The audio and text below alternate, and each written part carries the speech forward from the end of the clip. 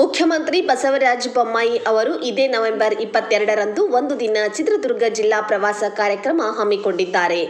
ಮುಖ್ಯಮಂತ್ರಿಗಳು ಅಂದು ಬೆಳಿಗ್ಗೆ ಹತ್ತು ಗಂಟೆಗೆ ಬೆಂಗಳೂರು ಎಚ್ಎಎಲ್ ವಿಮಾನ ನಿಲ್ದಾಣದಿಂದ ಹೆಲಿಕಾಪ್ಟರ್ ಮೂಲಕ ಹೊರಟು, ಬೆಳಿಗ್ಗೆ ಹತ್ತು ನಲವತ್ತೈದಕ್ಕೆ ಹಿರಿಯೂರು ತಾಲೂಕಿನ Vivipura Morarji Desai model residential school ಆವರಣದ ಹೆಲಿಪ್ಯಾಡ್ಗೆ ಆಗಮಿಸಿ ಹಿರಿಯೂರು ತಾಲೂಕಿನ ಐತಿಹಾಸಿಕ ವಾಣಿ ವಿಲಾಸ ಸಾಗರ ಜಲಾಶಯಕ್ಕೆ ಬಾಗಿನ ಅರ್ಪಣೆ ಮಾಡುವರು.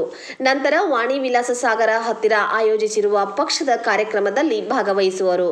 ಮಧ್ಯಾಹ್ನ ಒಂದು ನಲವತ್ತೈದಕ್ಕೆ Hiriyur taluk Vivipura Morarji Desai model residential school ಆವರಣದ ಹೆಲಿಪ್ಯಾಡ್ನಿಂದ ಹೆಲಿಕಾಪ್ಟರ್ ಮೂಲಕ ಚಳ್ಳಕೆರೆ ಸಾಯಿಬಾಬಾ ಮಂದಿರ ಹತ್ತಿರ ಹೆಲಿಪ್ಯಾಡ್ಗೆ ಆಗಮಿಸಿ ಮೀರಾಸಾಬಿಹಳ್ಳಿ ರಾಣಿಕೆರೆಗೆ ಬಾಗಿನ ಅರ್ಪಣೆ ಮಾಡುವರು. ನಂತರ ಚಳ್ಳಕೆರೆಯ ಬಿಎಂಜಿಎಚ್ಎಸ್ ರಂಗಮಂದಿರದ ಆವರಣದಲ್ಲಿ ಆಯೋಜಿಸಿರುವ ಪಕ್ಷದ ಕಾರ್ಯಕ್ರಮದಲ್ಲಿ ಭಾಗವಹಿಸುವರು. ಸಂಜೆ ನಾಲ್ಕು ಗಂಟೆಗೆ ಚಳ್ಳಕೆರೆಯ ಸಾಯಿಬಾಬಾ ಮಂದಿರದ ಹತ್ತಿರದ ಹೆಲಿಪ್ಯಾಡ್ನಿಂದ ಹೆಲಿಕಾಪ್ಟರ್ ಮೂಲಕ ಬೆಂಗಳೂರಿನ ಎಚ್ಎಎಲ್ ವಿಮಾನ ನಿಲ್ದಾಣಕ್ಕೆ ತೆರಳುವರು ಎಂದು ಮುಖ್ಯಮಂತ್ರಿಯವರ ಫೋರ್ ಡಿಎಂಜೆಡ್ ಕರ್ತವ್ಯಾಧಿಕಾರಿ ಬಿಪಿ ಚನ್ನಬಸವೇಶ ತಿಳಿಸಿದ್ದಾರೆ.